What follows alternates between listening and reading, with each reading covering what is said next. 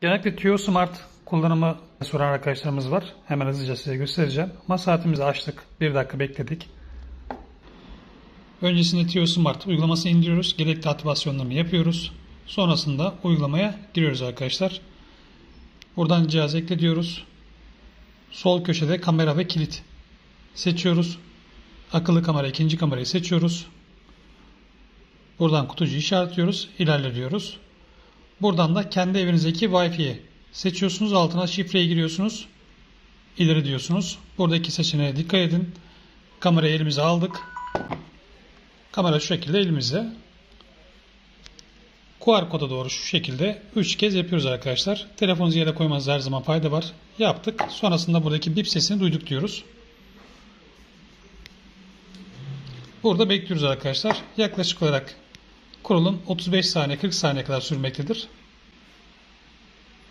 Şu an kurulum tamamlandı arkadaşlar. Tamamla diyoruz. Direkt kameraya geçiş sağlıyoruz. Şimdi görüntü kalitesini birlikte göreceğiz. Evet. Şu anda kurulum yapıldı. Cihazım bu şekilde. Karşıya doğru koyuyorum. Görüntü kalitesini yükseltelim. Bu şekilde görüntümüzü net bir şekilde alabiliyoruz arkadaşlar. Uzaktan izleyebiliyoruz.